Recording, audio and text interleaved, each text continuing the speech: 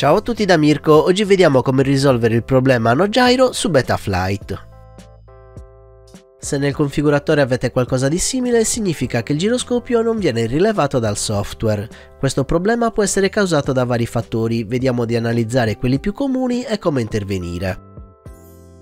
Innanzitutto quando il giroscopio non viene riconosciuto dal sistema potrebbe essere che durante l'aggiornamento firmware è stato usato un target sbagliato, quindi per prima cosa bisogna essere sicuri al 100% di aver usato il target corretto per quel determinato flight controller.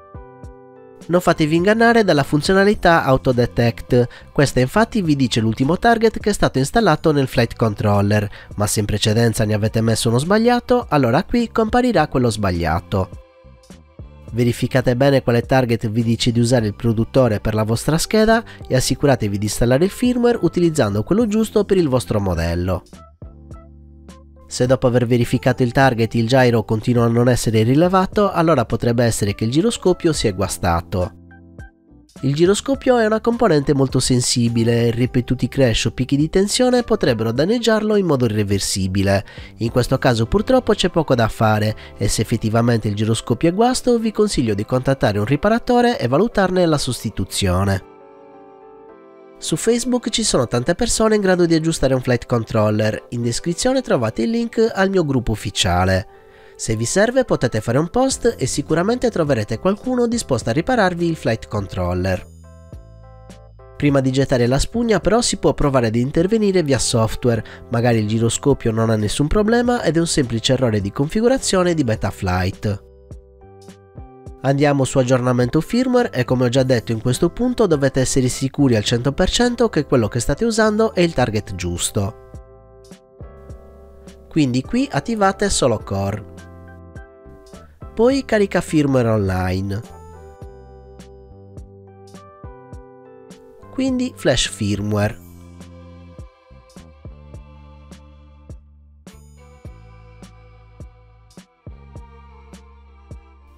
Ora cliccate su connetti, poi applica custom default.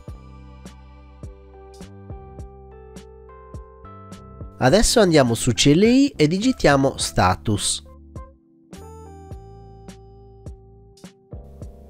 Se in questo punto non vi compare nulla, allora il giroscopio non viene rilevato e non c'è niente da fare. Se invece visualizzate il nome del vostro giroscopio, allora è Betaflight che ha difficoltà a riconoscerlo in fase di aggiornamento firmware.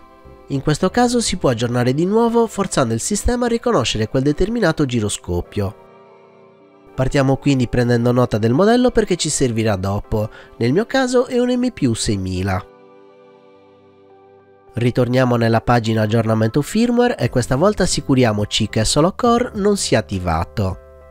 Ora nei custom define digiteremo la stringa che forzerà Betaflight a riconoscere il giroscopio. La stringa varia in base al modello di giroscopio che monta il flight controller, proprio per questo poco fa ve ne ho fatto prendere nota.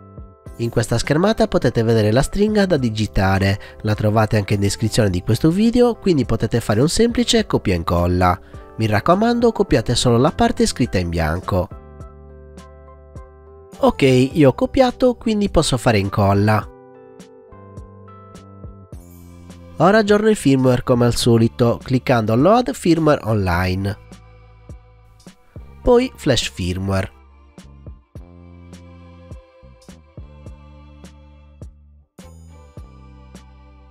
Molto bene, vado su Connetti come sempre faccio applica i custom default.